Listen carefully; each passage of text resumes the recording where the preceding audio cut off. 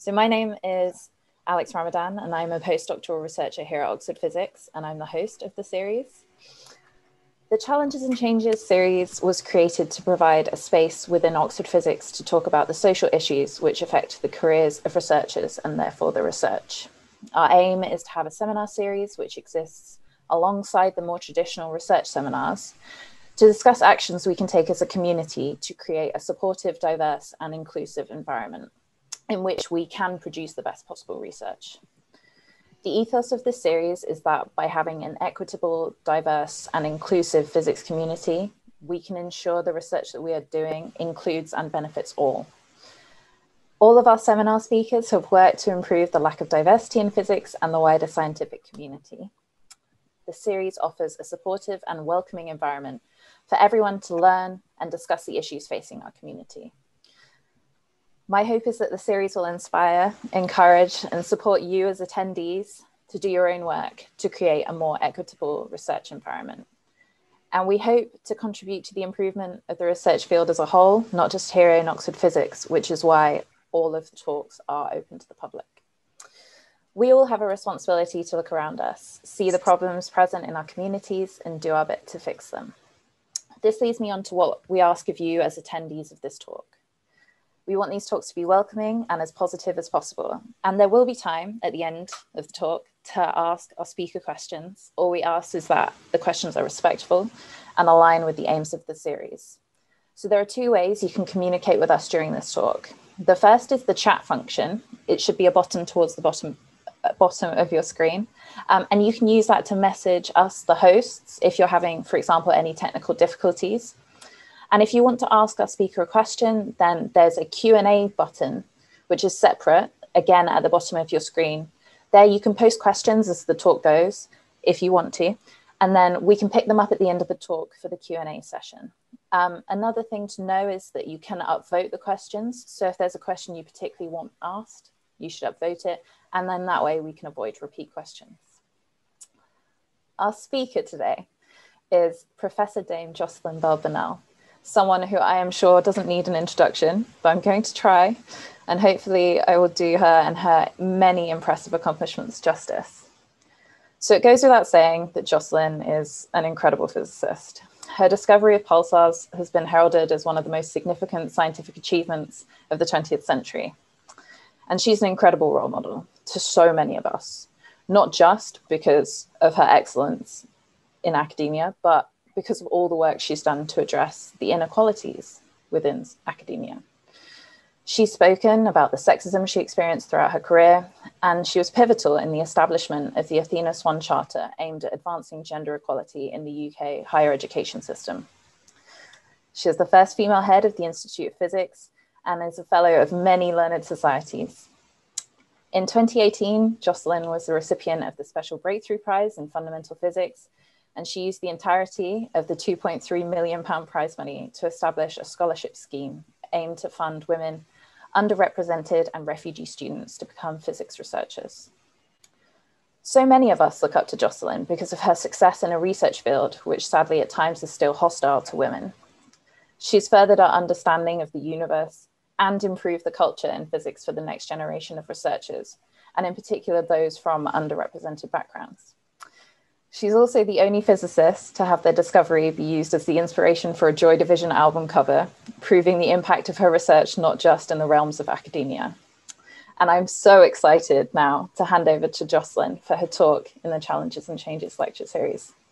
Thank you, Jocelyn. Thank you for that introduction, Alex. Thank you very much indeed.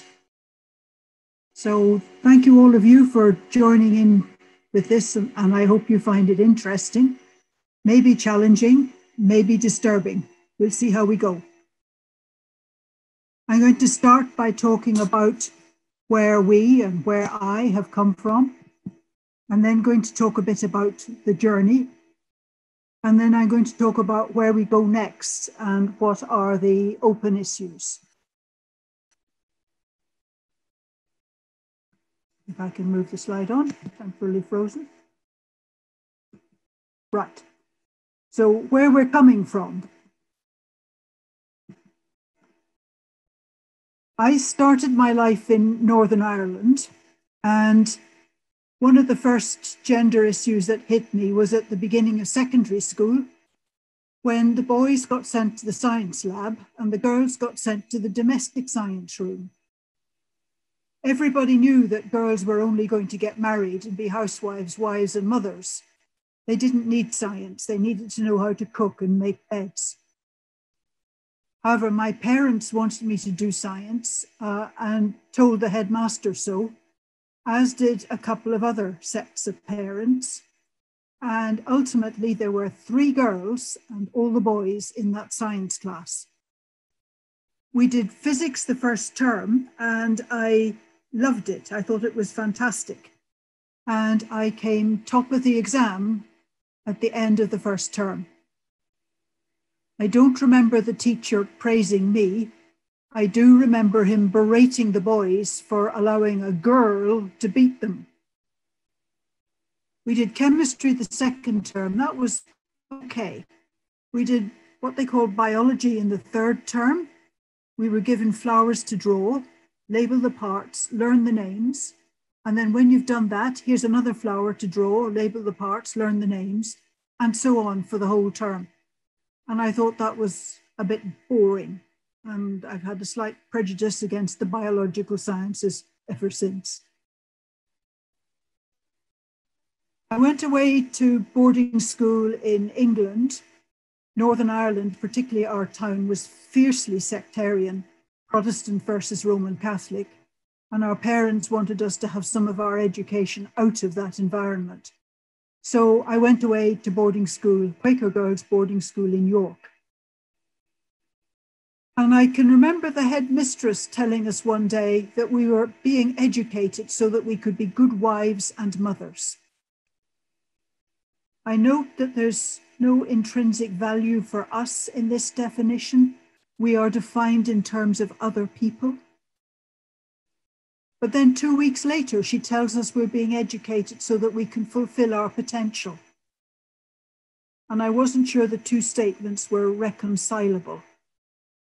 I have to admit, she probably had an eye on what the fee paying fathers wanted to hear. The maths and science teaching at this girls' boarding school was typically rather patchy but I was lucky enough to have an excellent, albeit rather elderly physics teacher, although there was very little lab equipment. I can remember him teaching us about a tangent galvanometer, then opening an educational supplier's catalogue, pointing to a picture and saying, that's a tangent galvanometer, followed by, look at the price. And when it was time for the practical exams around O levels, GCSEs, the school had to buy in quite a lot of equipment. Crates of stuff arrived. I went from boarding school, girls' boarding school, to Glasgow University to do a physics degree. I had already decided I wanted to be a radio astronomer, and a physics degree seemed the appropriate way to start. Glasgow University has a rather different system from Oxford. Uh, it admits huge numbers of people who meet a minimum level of qualification and throws out 30 or 40% at the end of the first year. So there's a curious ambience about the place. So having started with several hundred in the first year, we ended up with 50 in the honours class for the last two years. There were 49 men and me it was a bit tough. There was a tradition in Glasgow at that time that when a woman entered the lecture theatre, all the guys whistled, called, stamped, banged their desks, generally made as much noise as they could. And the women tended to gather outside the lecture room and then walk in in a group. But of course, if you're on your own, there's no group. I was living in a woman's hall of residence, and when I went back that first lunchtime and said, It looks like I'm the only female in the class, they all assumed I'd be changing subject. But I did want to be a radio astronomer, and to do that, I had to get a physics degree. I went from there to Cambridge. I hadn't expected to get into Cambridge uh, and was somewhat overawed, put it mildly, by the place. Um, it looked lovely. It was full of people who were apparently very bright and absolutely assured of their right to be there. And I felt very provincial and as a female in a very small minority. At that time, there only were three colleges for women and I went to the newest of them called Newhall, now called Murray Edwards, which you see in the bottom photograph. The upper photograph is the Cavendish lab where the radio astronomy group was. I noticed that at my women's college, the fellows referred to themselves as Ms., Mrs., or Miss. Apparently, they felt that using the title doctor or prof, which a number of them were entitled to use, that that was a bit forward. I think what was going on was basically they were trying not to scare the men or upset the men because the university committees that controlled how many women students could be admitted to Cambridge and how many women's colleges there could be were very, very heavily male dominated. For most of my time in the Cavendish lab, I was the only female PhD student in radio astronomy. And as a number of you probably know, and Alex has alluded to in her introduction, it was while I was there that I accidentally discovered a new kind of star called a pulsar. I got engaged to be married between discovering pulsars three and four. And I can remember lots of my friends congratulating me warmly on my engagement, but they said absolutely nothing about making a major astrophysical discovery. There was plenty of it in the newspapers, they must have known. Maybe they didn't understand what it was all about. Or maybe, like many other women, their priority was that women got married. Following the discovery of pulsars, there was a lot of media interest, and interviews would take a fairly typical pattern. There'd be my supervisor, Tony Hewish, and I. And they'd ask Tony Hewish about the astrophysical significance of the discovery, which Tony duly supplied. And then they turned to me for what they called the human interest. So, how tall was I? Was I taller than Princess Margaret or not quite so tall? What were my bust, waist, and hip measurements? How many boyfriends did I have? And the photographers would ask me to undo several of the top buttons of my blouse. They weren't interested in me as a scientist, they were interested in me as a piece of meat, basically. Page three stuff. It was horrible. It was really horrible. And I didn't feel in position to be really rude to them. Um, I'm a final year grad student whose money's running out in a matter of months. I have to finish the data analysis, write a thesis, write some papers, and really I just couldn't afford to uh, alienate the, the academics in radio astronomy department.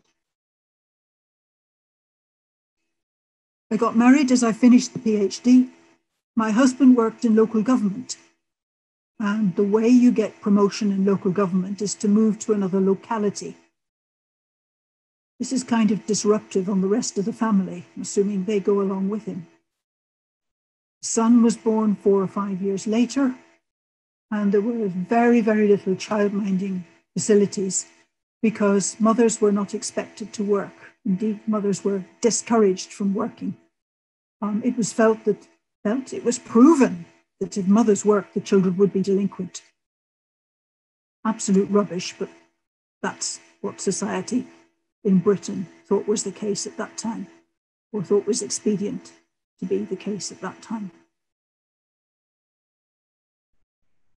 Now, at that time, over 50 years ago, getting married was considered to be the peak of a woman's career. Furthermore, the medical profession was inclined to tell you, regardless of what your ailment was that took you to the surgery, that everything would be okay once you had a baby. Again, absolute rubbish. But you see the kind of pressures there were on women then? I was lecturing at the University of Southampton at that time, and I remember that um, when the lecture timetable came out, there was Prof this and Doctor that and Doctor t'other and Mrs. Burnell. The secretaries had changed Doctor to Mrs., thinking I would prefer that. Sure. I was at Southampton when I became pregnant, and I went to my head of department to ask what maternity leave I was entitled to.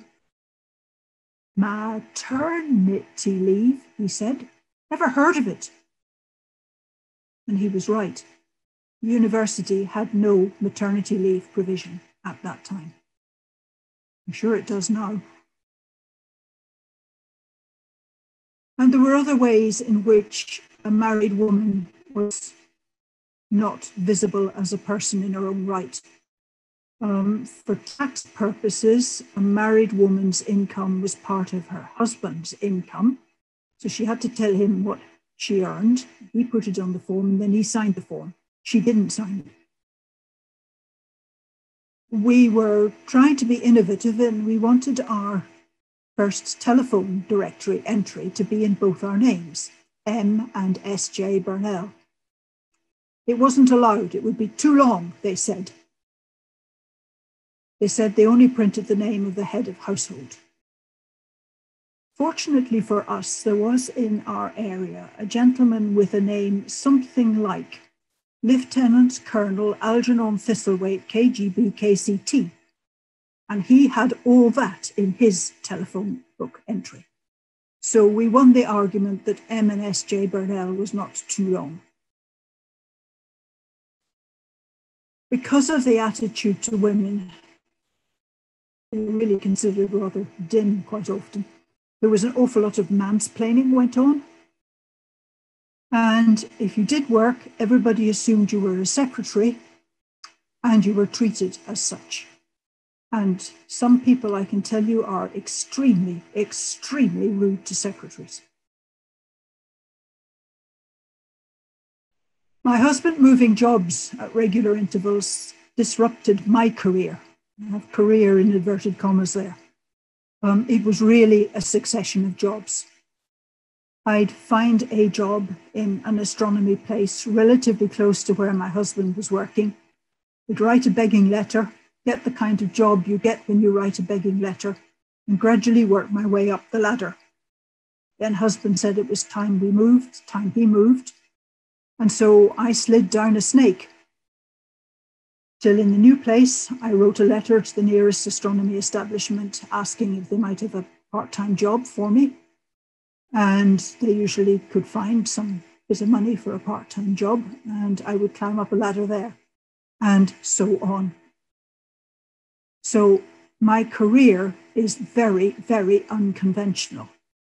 It is not half as glorious as people make out. I have been on the technical staff, I have been on the support staff, I have had research positions, I have had lecturer positions, I have had head of department and dean positions, but it's very, very varied. And I flitted backwards and forwards across the electromagnetic spectrum research wise.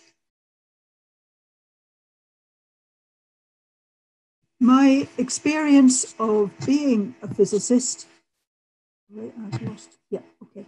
My experience okay, so far, it's often been other women, my knowledge, never a man, who has asked, Are you sure you want to do physics? It's women who are the custodian of custodians of what it's proper for women to do. But in a male dominated area, of course, it's largely men who determine the advancement of people, including the advancement of women. So, interesting bifurcation there. Come on, move on. Sorry, slides seem to have frozen. There we are. So, I want to say a bit about the history of road to equality in UK universities, because I was quite heavily involved in some of that. Uh, you can imagine data are collected about how many men, how many women there are at each level in the university. And surprise, surprise, it shows women are in a minority. And furthermore, the minority gets smaller the higher the rank, the higher the level. It also shows that women progress more slowly up the ranks than their male counterparts. It shows that women put in fewer grant applications for smaller sums of money, are less willing to apply for jobs, etc., etc. So the first response to this was fix the women, make the women braver, more willing to put in grant applications, to apply for promotion, to apply for jobs, to put in bigger grant applications. And believe it or not, they ran special training courses for women to address these deficiencies as they were seen.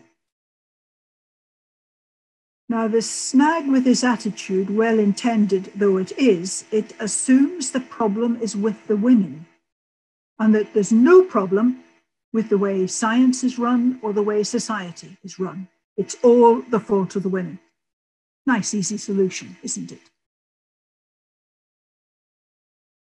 Then they thought, right, we'll do some special funding for women. They created return returner French fellowships for women coming back after a career break.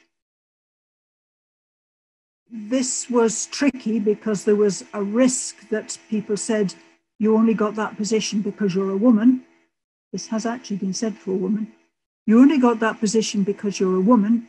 You're not up to the standard of this department and you're pulling the department down. You should leave. So, increasingly, those types of funding, returner funding, those are open to both male and female. So people can say, I got it in open competition with other men and women. I got it because of my qualities. Then the funding agencies began to realize that giving special funding to women, whilst a great help to those women, did nothing to change the way the institute, the university, was run.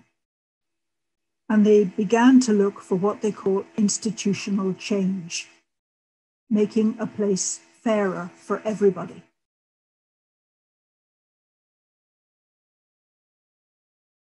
At around about this time, I started meeting up with a few other senior women scientists. We were wondering what on earth we could do to make things better for women in science because we knew there weren't enough. And we knew that those that there were were having not the best of times. So these photographs are some of the key figures in that group. It was this group that created what's known as the Athena Swan Award. And the brains behind it were Caroline Fox, who's the person on the bottom left.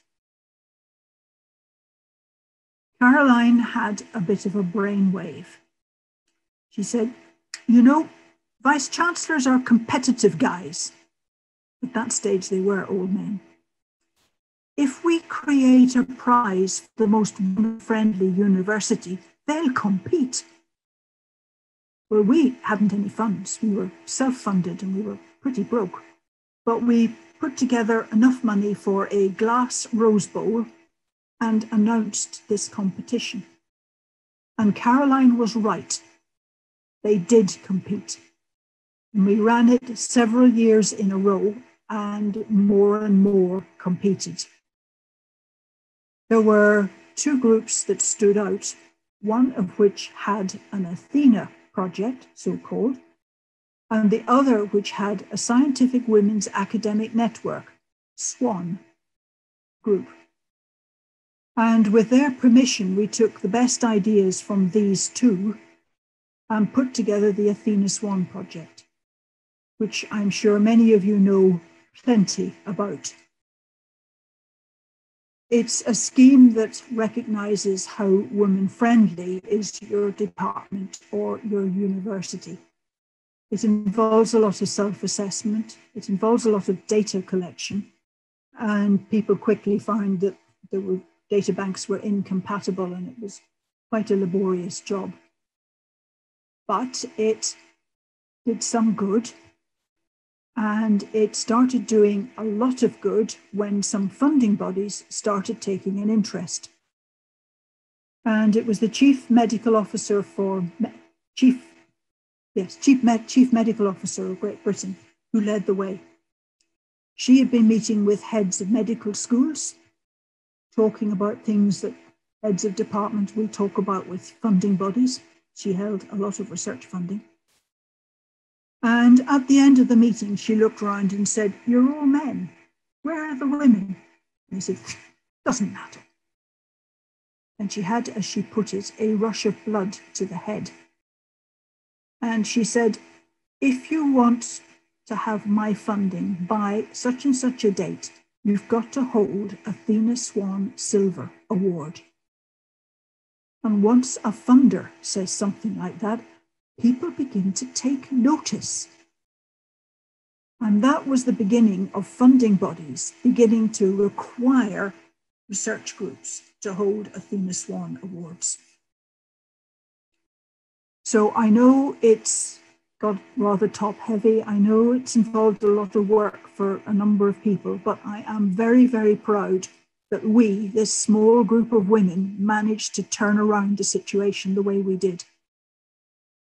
The project um, extended to the humanities beyond science, where the issue is not where are the women often, but where are the men. And it's been extended to Ireland, to Australia, to Canada, and it's coming in in the USA, bound in with other minority issues as well sea change. So it's gone a long way, and I'm really quite surprised. And I think it has helped a lot um, in creating an awareness of the ambience in universities and departments. So I think I've probably said all of this. It's, yep, certainly has caused change to happen. However, there have been inevitably some spin offs that are not entirely desirable.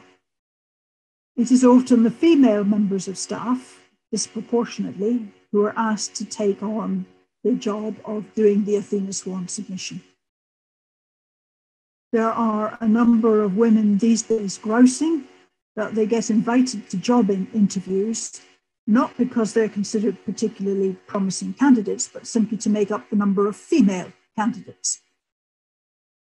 And certainly in Oxford, it has been the case that female members of staff have been over invited to be part of interview panels. And indeed, in one department, they went on strike.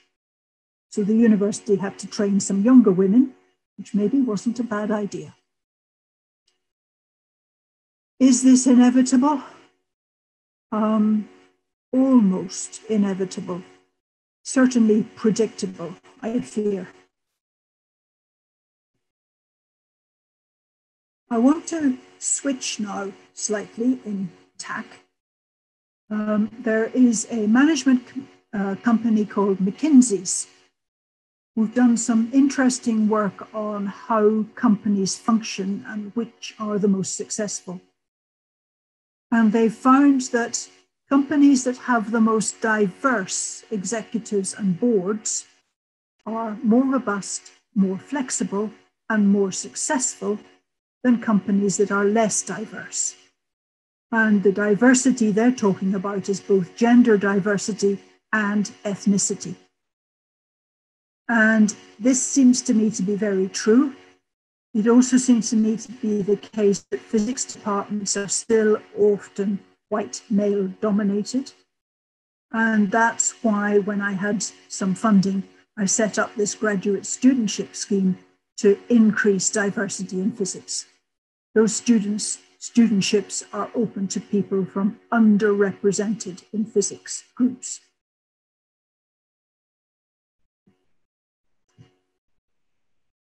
Royal Society of Edinburgh recently did a Women in Science exhibition and they managed to get it into Edinburgh Airport. The left hand photograph shows it by gate nine. And all the passengers hanging around waiting to board, of course, have plenty of time to look at it. The right hand photograph shows that one of the portraits is replaced by a mirror. And this is so that girls and women can look at themselves in the mirror and think, one day I could be up on a display like this. Three million people passed through the airport while this exhibit was on display there. I wonder what the footfall in Oxford railway station is. It's pretty big, I guess. Maybe I should Google it.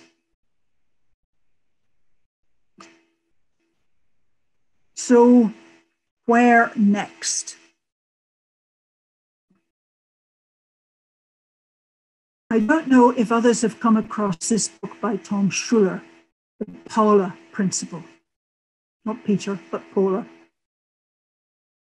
He's noted, as many of us have, that women in the workplace are underestimated, underpromoted, underpaid. And he does not mean the academic workplace. He's talking about other kinds of workplaces and women who are involved in the trades union movement as well. And he's recognized that women want interesting jobs, not simply status and money. Which has led me to wonder is our career progression, the criteria, the hierarchy appropriate? If status and money aren't everyone's goals, how are we helping forward people who have other goals than status and money, like interesting jobs? Or are they just simply left behind?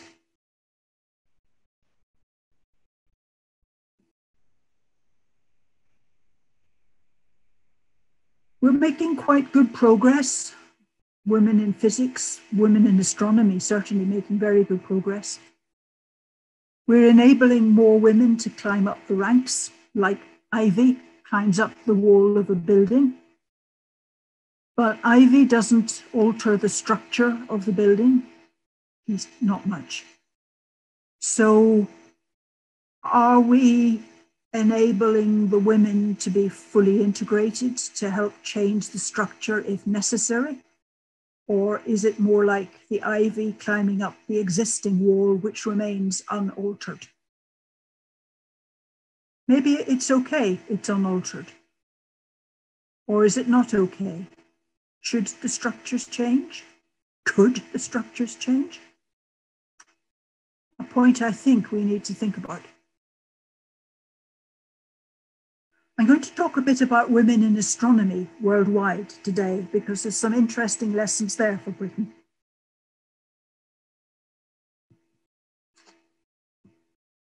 There is an international body called the International Astronomical Union, which countries belong to and individuals in those countries can also belong to and they publish on their website data about the number of individuals in each country, um, also by age as well as gender.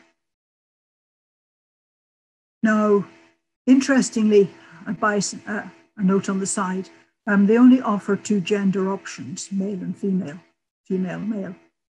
Out of the 14,000 people whose data they have collected, only four have refused to specify whether they were female or male. That's an interestingly low number. Maybe the rest just went away.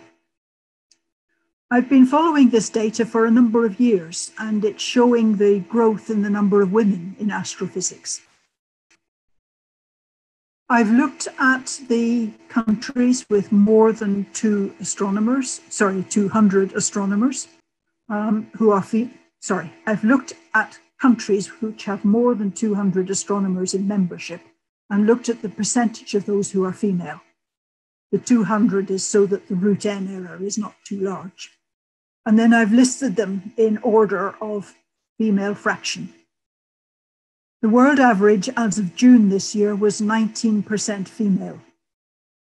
Italy is considerably better with 28%, France with 26, Brazil with 23, Spain with 22, Russian Federation with 21, Netherlands on the world average at 19%.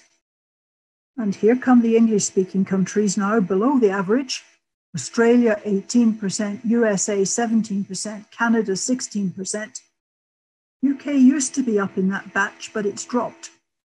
India 14%, China 13%, Germany 13%, UK 13%, Japan 7%.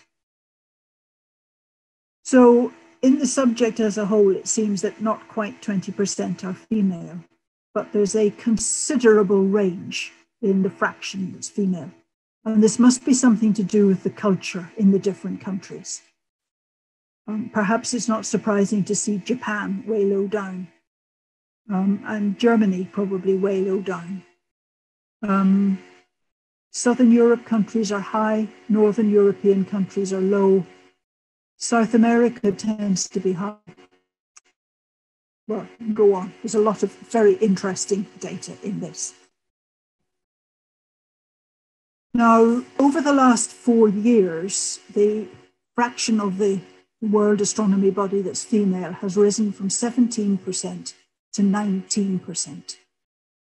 Um, there's been a slight change in the data collected during that time, and that's probably partly responsible for the jump in female membership. The countries that have improved most in the last four years are Netherlands, gone up a whopping 10% to 19% female. Chile, 15 to 21%. India, 9 to 14%. That's remarkable. Belgium, Germany, Italy, Mexico, South Korea, USA have all risen by, four, by 3%. We have fallen by 3%. Let's just stop and ask how has the Netherlands a typical Northern European country managed to get its fraction of female astronomers almost doubled from 10% to 19%. And the answer is because they have been allowed in the last few years to recruit to women only positions, to have positions open to women applicants only. And that, according to Dutch astronomers, has made a big difference. So that is an interesting development, which maybe others of us could learn from. Well, we must watch what happens in the Netherlands. Will there be any kind of backlash? Or is that really a useful step? Other things that I think would be better would be more child minding facilities and cheaper, desperately cheaper, but child minding facilities childcare takes such a large fraction of academic salaries that you wonder why you do it. We need to continue to recognize unconscious bias and check on other assumptions. Um, for instance, I've sometimes wondered if fellowships is maybe a slightly loaded, gender loaded name. Uh, we're going to have to find a way of recognizing the effect on women, particularly of home working during the COVID 9 lockdown and childcare responsibility. And we not only have to recognize the issues for women, but for other under recognized, um, underrepresented minorities. The world has changed. Um, in 1930, the Earl of Birkenhead was fool enough to predict what the world would like in 2030. In 2030, women will still, by their wit and charm, inspire the most talented men towards heights that they could themselves never themselves achieve. Yeah. In 1946 in the USA, 65% of people thought men were smarter than women. By 2018, 86% think men and women are equally smart. So there is progress, but it is slow.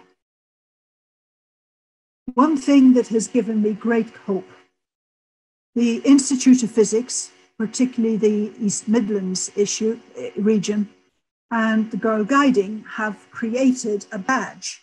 I am a physicist badge the Girl Guides, Brownies and Rainbows. And as of November this year, 22,000 girls have done that badge. Folk, we ought to be building on this some way, or doing more of it ourselves, maybe. For badge, to get a badge, it's required um, that the girls have some experience, um, using only equipment and consumables that can be found in a supermarket. And there's some material provided for leaders. They have to create objects or devices to be built. They have to investigate what happens if dot, dot, dot, and then discuss the results. And they have to either meet a physicist or visit a museum or science center or attend an IOP public event to hear about physics in action. 22,000 girls have done that. And the feedback, gee, is very positive. That's wonderful, that word cloud. And with that encouraging note, I will stop and say thank you for your attention. Thank you for your interest. And back to you, Alex. Thank you so much, Jocelyn. That talk was so interesting and at times heartbreaking and just all round has brought up so many important questions that I think we all need to be thinking about. Thank you so much. Um, we have a bunch of questions that I'll start making my way through with you. Um, sorry, they're quite, some of them are quite long. Okay, so I, th I think there's a general um, discussion about, so you had the slide about the academic structure and about the ivy creeping up the walls. And my personal opinion is that we need to very much change the structure because it's just not working for so many people. And um, one of the questions that we have here is someone asking, is it not the hierarchical systems that we have, which are one of the main reasons for discrimination? Like, can we actually treat people equally when someone is in a position of power and someone else is not. Um, what are your thoughts on that question? Um, I think you can actually. Um, power can be used or abused, and I think maybe it's not always used very intelligently. Um, this is not a criticism of the way physics is run at the moment. Um, so I don't know if any of the senior management team are listening in, but this is not a criticism of Oxford's physics department right now, so please don't feel it is. In fact, I, I think the physics department right now is in a good place, to be honest, and it is trying. It is, but a lot of these issues are, are fairly structural. Um, I do believe you can have hierarchies and you can have power, but responsibility, of course, goes with the power. Um, it's when the two get separated that sometimes the trouble occurs. Uh, and I think it's also fairly important that power and therefore responsibilities are rotated quite often so that power doesn't become entrenched. Yeah, thank you. Um, so, sorry, there's so many questions that I'm trying to. Um, so one question that's not in the chat because we as hosts can't answer the question. Um, so the UK government recently announced that they would no longer require universities to work towards Athena Swan to get fund certain types of funding. How do you feel about that? How do you think that's going to change things? I feel a bit sad about that, um, but I do recognise that it had got quite cumbersome. Um, I would have been happier if they'd said we need to um, make it a bit simpler and more straightforward rather than saying we do without it. Um, I, I, worry slightly that, more than slightly, that actually in terms of gender bias, racial bias and so on, we will slip back. Yeah. Uh, I feel like this government in particular is not necessarily that good at looking after the underrepresented groups. Um, so I think that is a, a real worry. Um,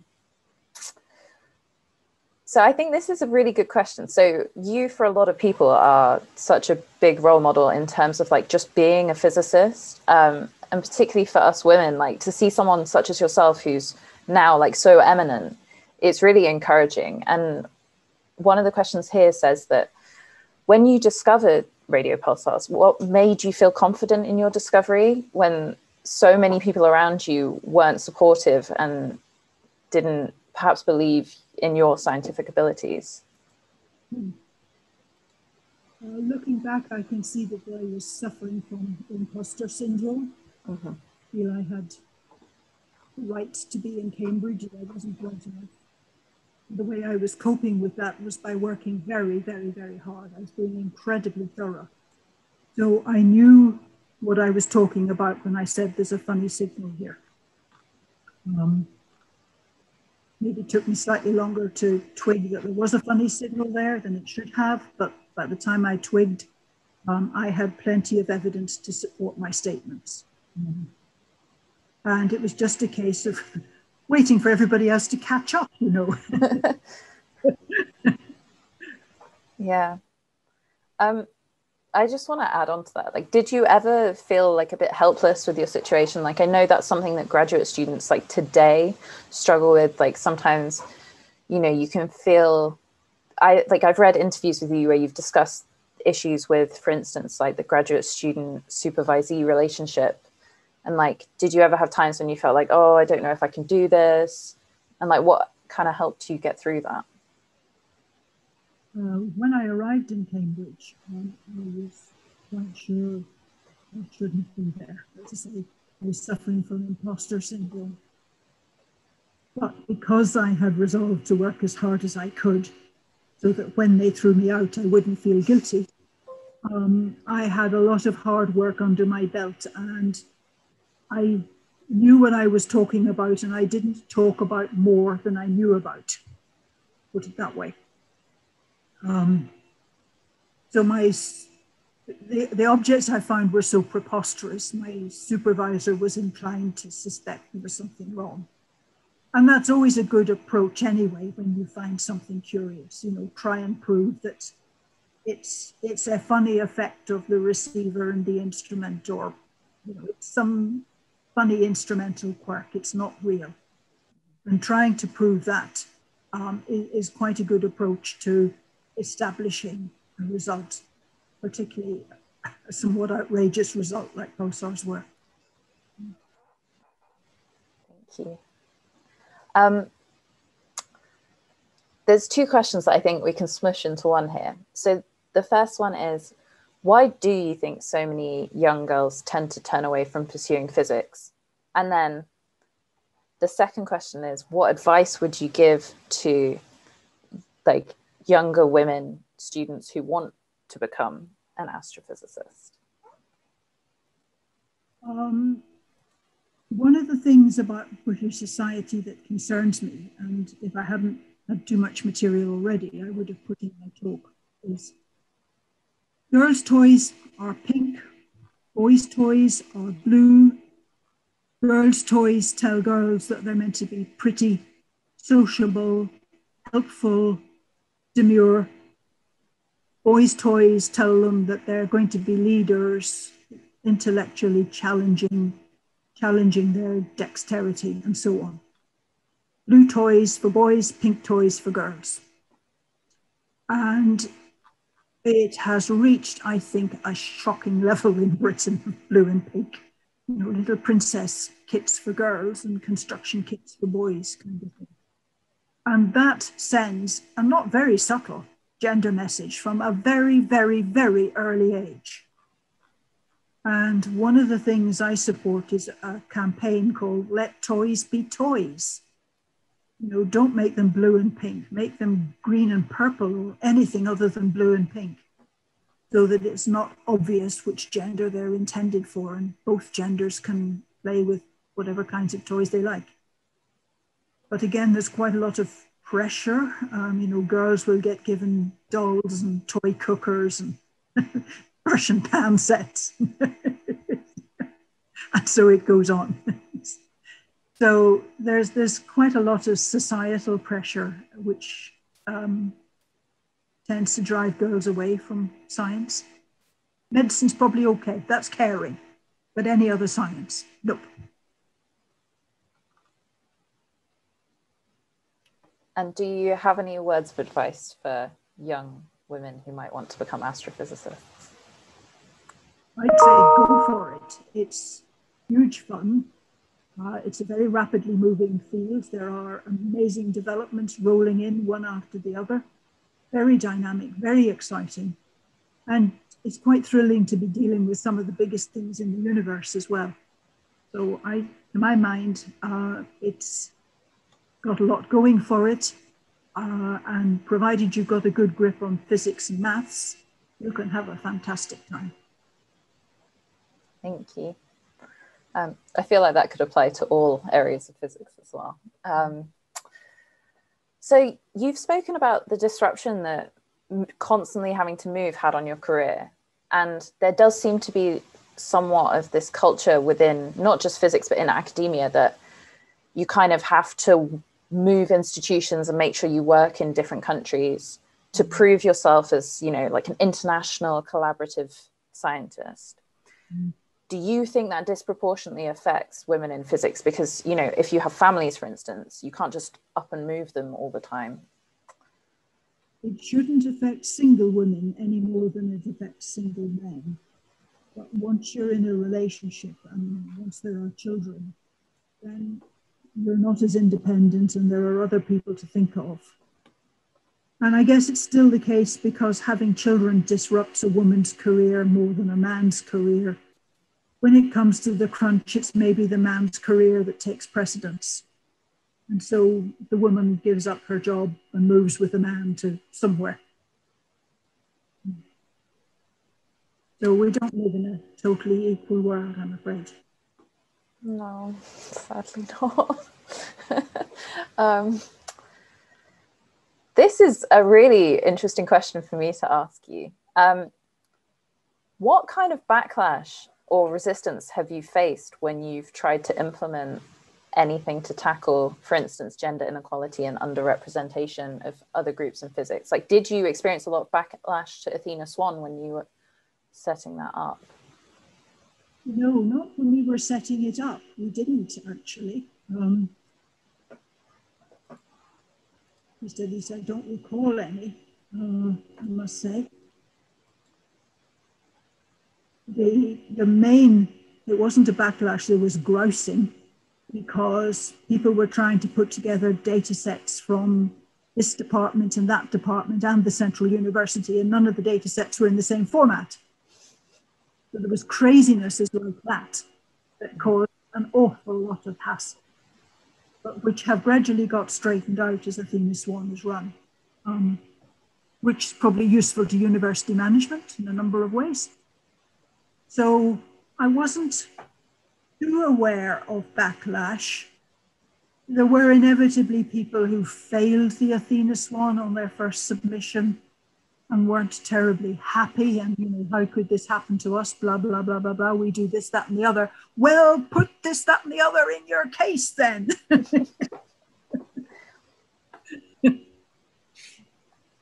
So you know, it's it's never straightforward bringing in new things like that. But I was pleasantly surprised that it wasn't wasn't worse. And several of the early winners of gold awards were very generous, spending time talking about what they did and what they had done and how they got gold, which I think was a help to everybody. Yeah. Um, do you have any advice for people perhaps like in encountering backlash in their work to try and improve the culture because it is there and i think sometimes it can feel like the activities that we're trying to do aren't making a difference or that it feels like we can't do things to make a difference. Whereas like to me the athena swan charter is something that like really changed things at a fundamental level. And i think those are the sort of programs we need to be trying but it can feel really hard trying to work out how to do things like that. I think we have to recognize that change comes slowly And just because something you're working on doesn't seem to produce an immediate change, doesn't actually mean it's failed. It just means your time constant's wrong. Okay. And a lot of it is a sort of steady drip, drip, drip process. Okay, that's encouraging. Thank you. Um, oh, sorry, Um, oh, someone has asked, do you have any books that you recommend if they wanted to pursue a career in astrophysics? Um, I think websites might be more useful than books, to be honest. Um, but there are there are lots of sort of color picture books of astronomical objects. Um,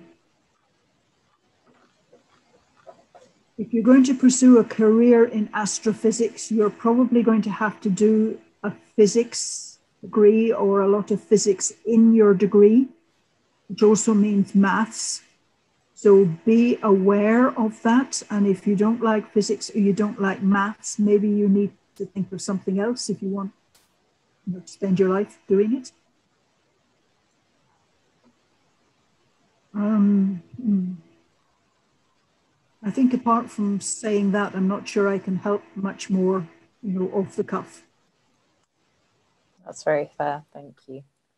Um, we're getting close to the end, so I'm probably only going to ask you one more question. But I wanted to say that we have so many people thanking you in the chat for your talk and saying how encouraged they feel and that they really feel that they needed to hear this from you. So I just thought I'd add that because I feel that way as well. Like I was so excited to hear you talk because I think you're a very inspirational speaker with the way you talk about the issues. So thank you from myself and everyone. Um, and then the final question how would you envisage an a scientific so like an academic structure that wasn't motivated by the competition and desire for status yeah so it would be motivated by discovering things about the universe or the universe in its widest sense not just astronomical but all the way down to small things as well um, it's it's just somebody who likes or people who like finding out things. But it's going to be hard to get rid of competition totally because you're going to need money to do that research. And money is usually allocated on a competitive basis. And indeed, one of the very encouraging things right now in Britain is, for instance, EPSRC worrying about gender bias in its um, allocation of funding, research funding and fellowships. Um, so things do keep changing. I, I think you probably can't get rid of rid of competition totally unless you find a millionaire who's willing to fund you no questions asked. And then instead of dealing with competitiveness, you're dealing with a funder who may have their own ideas about what's important to look at, look for doesn't interest you. so there often isn't a simple way out of the issues many of us face. Yeah, that's that's very true. I guess we just all have to try and do our part to try and change the structure mm-hmm. and improve it for people. Um, well, that leads us to the end. So once again, I would like to thank you so much for such a brilliant talk, and it really it really has been incredibly motivating for a lot of us. And we all really appreciate you taking the time to come and talk to us and share your journey and your thoughts and your work with us. Um, and also i'd like to thank the um, other members of the challenges and changes team in particularly in particular catherine who has been working tirelessly behind the scenes to make sure this all works in spite of my efforts to crash the zoom call um, by accident so thank you to everyone. Thank you to the attendees. And I really hope you can all join us next year for our new talks. And yeah, I hope everyone has a wonderful rest of your afternoon. Thank you.